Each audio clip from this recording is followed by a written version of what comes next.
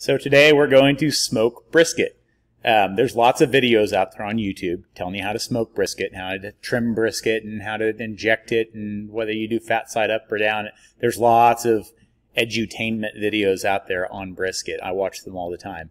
This one is just short and sweet. This is uh, building a fire, managing that fire during the day with two briskets in an offset trailer smoker. I'm cooking some bologna at the same time. We're going to pay attention to the fundamentals. We're not going to get crazy with anything, and we're going to turn. We're going to end up with two really, really, really good briskets. Um, so let's get started with this. First thing I like to do is start the fire. It takes a while, a good hour, for that to burn down to the uh, bed of coals that I prefer, which is a really, really hot, completely burning bed of coals. So it takes about an hour. I'm using some paper towels and some oil here. They work really well as a fire starter. That oil wicks into that towel and burns a long time, that paper toweling. And I'm going to build what's called a log cabin fire on top of this, just going back and forth uh, with the wood. It leaves a lot of airspace in there so that fire can get going pretty fast. And then my next step after I get this lit is to spray some oil on the outside of my firebox it's just good management and maintenance for the firebox. It'll get rusty otherwise. It's been several cooks and you can see it's starting to rust on the outside. So you just oil it up and that'll polymerize on there and make a good seasoned coating for several more cooks.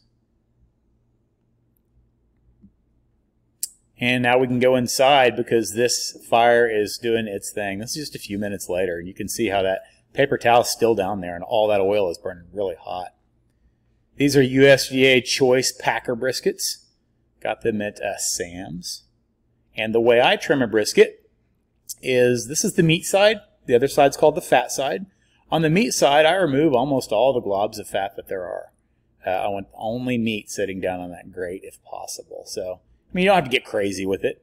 You don't. You could throw this whole brisket on the smoker just like this, and you'd have a great product. You just have a lot of extra fat, uh, and no one wants that. So it's best to trim them first. Then I like to go around the edge where there's any oxidized or discolored meat at all and just cut it off and clean it up. Any little tiny thin parts of meat that are sticking up, little flags like that, I like to cut them off because they'll just burn up. They're not good. And I like to round over the edges. Makes a nice consistent product. You can see I'm just cutting off all anything discolored and any large chunks of fat that I see. I'm going to go ahead and remove those. I don't want to cut down into the seams of fat and leave pockets or anything like that. Um, just a good, easy trim. Then on this side, the fat side, I want to take the big globs of fat off that I can reach with a knife on the, on the point. That's the point over there on the left, and the flat is on the right side. And then when I'm trimming the flat side over there where all that fat is, I just want to take it down to about a quarter inch of fat. This had like three quarters of an inch, so I'm having to, you know, trim off that. It's very easy to do, though. Use a sharp knife, and the knife will do everything you tell it to. And now we're pretty much done. All cleaned up. There's this little part over here that's very thin. I usually round it off. Um, it's not wasting anything because that is just going to burn up in there anyway. See how thin it is? It's like 3 eighths of an inch thin. It's just, it's not worth having on there. Some briskets, it's thicker. In this one, it was thin, so I cut it off. And now we're going to inject it. Um, we're going to use a made in Oklahoma product made by um, a, a, really, really good company. This is Butcher Barbecue. This is their brisket injection. I also use their pork injection when I'm doing Boston butts. I've used a lot of injections. This is by far my favorite. I think you do gain a lot of flavor by injecting your brisket first. It's very, very easy thing to do. This is just a Walmart injector. I don't go crazy and buy an expensive stainless steel job or anything like that. And then you just go in every few inches and push the needle in and you'll see it kind of sprays everywhere. This is messy. Um, and so what I like to do is put my hand over the hole and it just keeps it from kind of going all over the counter and everything. But then every few inches, just go in with the grain is how I do it. I don't know that it matters. And then there'll be a lot of injection that kind of runs out and is on the outside of the product, but that's okay. That's where the dry rub will stick. It kind of acts as a, a glue for the dry rub. So that thing's fully injected. And I'm going to use Payne County Rust. This is my own product, so I'm extremely biased. But this is what I consider to be the very best beef dry rub I've ever used. I use it on all beef products. If I'm cooking burgers or steaks or obviously brisket, I don't add any sugar. I just use Payne County Rust. I use lots of other people's products. I don't just use my own. But when it comes to a beef dry rub, I only use Payne County Rust. This is Bar S Bologna. It comes in a five pound log. At Walmart, it is $6.98. It's very inexpensive. And when you smoke bologna, as I said before, if you've never had smoked bologna, it is really worth a try. It, it tastes a lot different than the preconceptions. Um, like when you think of cold cut bologna, it just tastes a lot different. I cut it from pole to pole, and then it, uh, then I cut it from pole to pole again and into quarters, and then I go ahead and score all three sides of those triangles that we've made, uh, and that will allow the bologna to open up as it cooks without tearing. It's going to want to expand as it cooks, and this kind of tells it where to do so. And then as that opens up, more smoke can adhere down in those cracks, and it makes the, the product more attractive when we slice it. There are four quarters here. Uh, you'll notice there are six quarters in the smoker in a minute. It's not because bologna breeds when you put it inside a smoker. Um, I just had some extra that I'm going to put on. These are my half-inch bar stock grates that I build for my smokers. They're heavy duty, they're very thick, but they hold a lot more heat and they're easy to clean. I like half-inch bar stock for my grill grates. Doesn't matter. Any grill grate will work. Always brush them off. Use a poly brush, not a steel one. Those little steel pieces can get in your food and really cause some damage. Then I like to oil down the grates and then wash them off with a paper towel. So the grates are nice and polished and ready for product. And it's been about an hour, an hour and a half, and you can see that bed of coals is extremely hot. Uh, when we put our wood on there, it's going to ignite almost immediately. This is the kind of coal bed that we want to nurture during the day. All our heat now is coming from this coal bed plus the wood that we put on top. With a complete burn like this, like I've said before and will continue to reiterate, syringol and guaiacol and nitric acid are all very, very prevalent, and that's what we want for uh, a good smoke ring from the nitric acid and CO that's in that smoke and those gases, and that syringol and guaiacol are the oils that are being produced as those lignins are polymerizing in that high heat environment. So we got a good complete burn going on. The smoke chamber is starting to heat up. It's time to put the product on the racks. I'm going to arrange the bologna over there to the right just so I can take it off. It comes off in three or three and a half hours. Bologna is a pre-cooked product, but uh, it only so it only has to smoke three or three or four hours. You can you can do less or more than that. It's up to you, but you'll see what this looks like at that time. And then I'll put the briskets over on the left where I can get to them really easily with spray. I won't be touching these the entirety of their smoke. I just want them to sit exactly where they are, fat side up.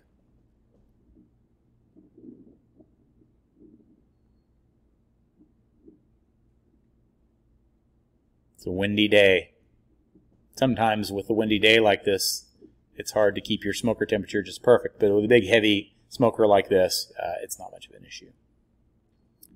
I'll just reiterate, always buy as heavy a smoker as you can afford. So there we go. Uh, now we'll uh, wait about an hour and a half before we touch anything because we want that crust to start to set.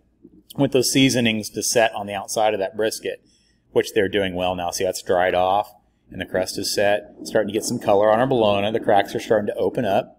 And now that the crust is set, hour and a half in, we can spray our brisket to keep it from drying out too much. I'm just going to use water today in a food safe spray bottle. You can use anything you want. You can use marinades, you can use apple juice, you can use apple cider vinegar, a mixture of whatever. It adds a little bit of flavor when you do those, but today we're just going to use water. This is another hour and a half later, and you can see we're getting some darker color. I'm sorry, it's really difficult to focus in a smoky environment like that with my camera. I'll get better at this someday. Bologna is starting to get some good color on it. We're going to spray it also. We're just going to keep everything sprayed down. Just managing our fire at this time, people. That's all we're doing. Just keeping that temperature between 225 and 250.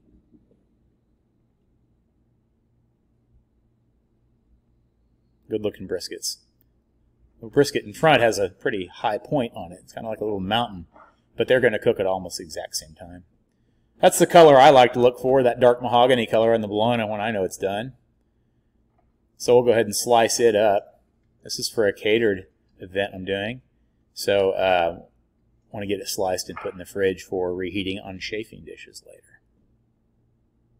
You can see how it looks once it's cut with those uh, score marks in the side and how much smoke got down in there. We'll just slice it all up, put it in pans, throw it in the fridge, and then we will pay attention to our brisket.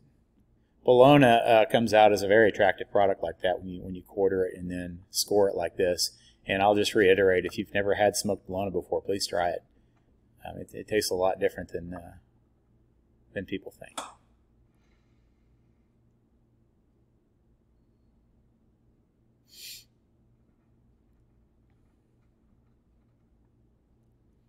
All right, now we're about four and a half hours in. You can see that dark crust is really starting to form now. That's the flavor of your barbecue. And I've every hour or so, maybe hour and a half, I've been spraying it down with water to keep it from drying out too much. And that I think we're at six and a half hours here. Um, maybe six hours. I, I can't remember. It doesn't really matter. Whenever your crust looks like you want it to look like, and it's it's kind of the smoker's kind of done its job at this point. It's time to take it inside and wrap it. So we'll take these guys inside, wrap them in foil, throw them in the oven It's beautiful brisket. It's got a lot of good crust on it. Came out really well. I was very pleased. I take a couple of uh, heavy-duty sheets of aluminum foil, put them down on the counter, and then I double wrap each one. Sometimes that crust is sharp enough it'll it'll pierce through thin aluminum foil, uh, and sometimes it'll even pierce through thick aluminum foil. So I use two two layers, and then I then after it's wrapped up, I still put it in a pan before I put it in the oven. I don't want to have a flood in my kitchen from all the juices of these briskets when they're cooking. So after I've double wrapped this, I'll take my probe thermometer.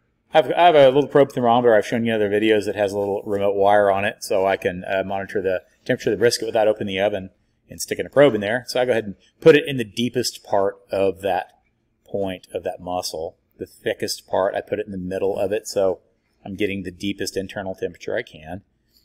And then we're going to stick them in a 265 degree oven and we're going to wait till we get about 203, 204, 205, somewhere around there. And I'll cook both briskets at the same time, of course. You can do this part in the smoker, of course, uh, but you know, you used to use up extra wood when we have an oven inside. The smoke can't get through the foil, so you're, you're really, really just uh, wasting wasting wood, I think. So I like to do these in the oven if I'm not at a competition or, or some place I can't get to one. This is also a good place to use an electric smoker on your porch. Put these pans inside there, and uh, and they work great as an outdoor oven. These are those little magnet mount uh, probe thermometers. They have the the remote. They're on a wire, and they also have a probe on them, so you can you can use them either way. I have lots of them.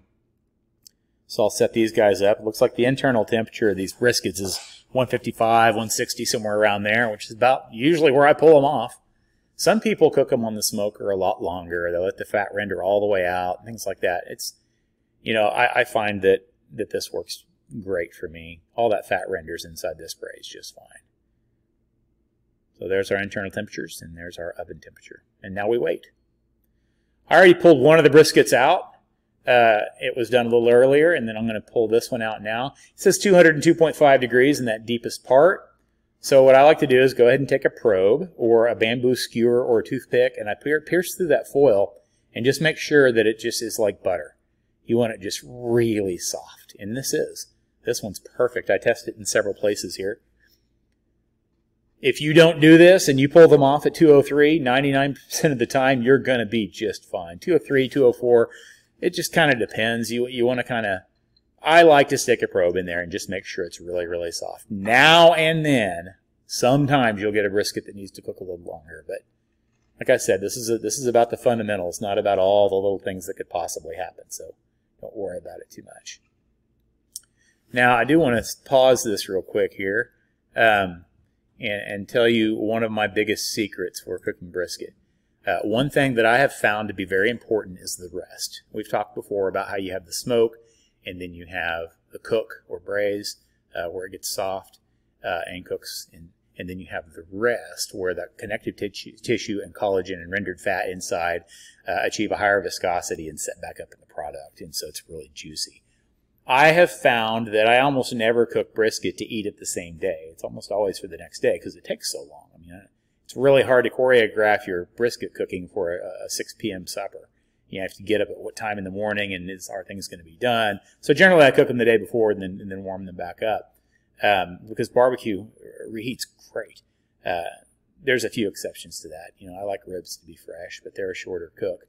Uh, but with brisket and the rest, you can absolutely put this up on top of your oven or on the counter and vent it and let it rest for two hours. Uh, I, I put that in the cheat sheets, and we've talked about that before. That's perfectly fine. What I have found to be the very best thing to do is once it's done in the oven like this, um, like we just saw that it reached temperature, I open that oven door and let a little bit of that heat out. Then I put them back in the oven with the oven off and I leave them overnight. Um, they rest all night long. And in the morning, 10, 11 hours later, they're still warm inside. Um, the food safety people out there would go crazy, I'm sure, saying they we reached too low of a temperature. But we're talking about a product that has been salted heavily. It's been smoked. It's been cooked. And that entire time it's that it's cooking up past the safe temperature, which was 160 degrees. It's clear up to 203 degrees. It's been wrapped that whole time in that salty brine. Nothing is going to happen inside there in 10 hours in an oven. So I leave them all night long. And then the next morning I like to slice them. And you're going to see what that does. Uh, it's, it works every time. So, uh, I would I would go for a 10 hour rest overnight in the oven if you can. Just turn the oven off and, and let it come down to temperature really really slow. That meat will relax. Those uh, collagens that have been melt, molten down into gelatin will set back up inside the product, and you're going to see uh, what that can look like. So here's that product, and it is warm still. This is uh, 10 or 11 hours after I turned the oven off. Good long rest. It's got beautiful bark on it. These briskets came out great. They always come out just like this if you follow the rules that, that I just showed you. It's, it's really not that hard. It's mainly about managing your smoker temperature. So here's that completed brisket. Uh, this is a mess. Slicing up a brisket is a mess. On the left is the point, and on the right is the flat. And we're going to cut against the grain. We're going to slice that that flat against the grain all the way over to the halfway point. Because at the halfway point, you start to get into the point muscle. And then we'll turn the brisket 90 degrees because the point muscle runs, uh, the fibers run the opposite direction, and we'll finish it off. It's very easy to do. Good smoke ring, good rendering. Everything's perfectly tender and juicy. A lot of good bark. So here we go. Let's start making our slices now. These briskets came out great.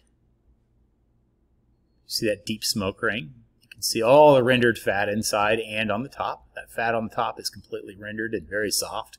You want to use a really sharp knife and take your time doing this because that bark is very delicate. Um, it really helps to use uh, an electric knife if you have one, but today we're just going to use a sharp knife. I prefer one with a thin kerf like this. I don't want a really heavy like quarter inch thick chef's knife. It just it pries everything apart. So there's our brisket. Just the, the, the lightest amount of pressure pulls it apart.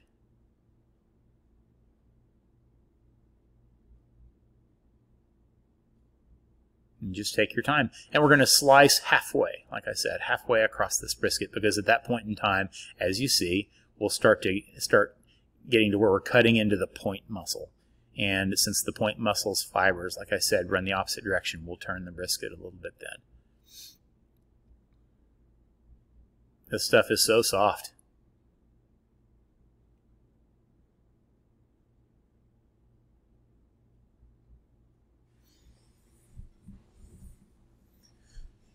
We're going to go to about there. I am going to slice both these briskets today to show you. We'll, we'll, go over it all again, but in much higher speed here in a second. Uh, and when we when we slice that second brisket, it was the one with that really tall kind of mountainous point on it, uh, but it slices up just fine. Pretty slices. This is some really, really tender, very moist brisket. I tasted this many times during this video, and that Butcher Barbecue um, uh, injection that I used is very flavorful. It really helps these products out. And of course, the rust on the outside is, as I said before, my very favorite dry rub. That's some juicy brisket, guys. It really came out well. See the point muscle starting to come into this? Might get one or two more slices on here, but then it's time to turn this sucker 90 degrees, start slicing the other way. And you could either slice it or cube it. Once you get into that point, you can cube it like into, into burnt ends, chunks, or you can slice it. I'm going to do a little bit of everything with these so you guys can just see. It's a mess, but it's, it's a fun mess. So we'll cut this thing exactly in half so you can see what the inside of this looks like, and then I'll slice it all up.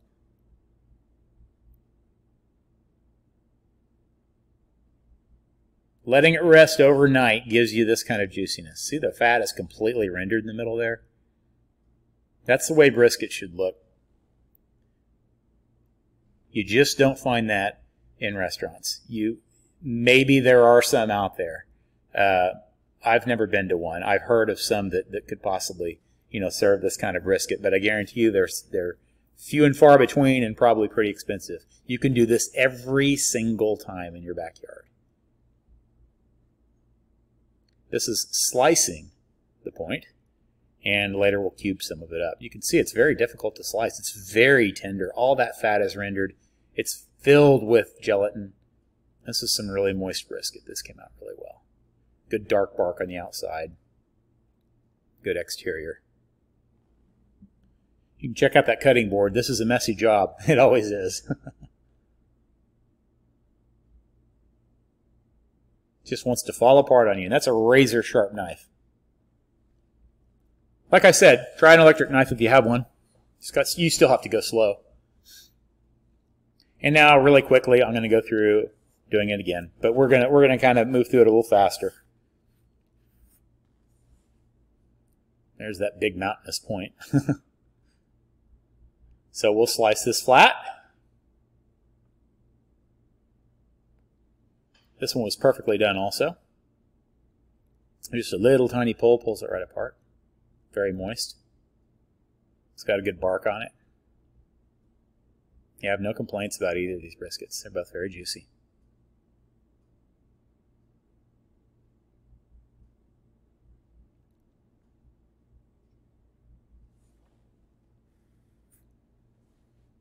Good looking point. That's what you want.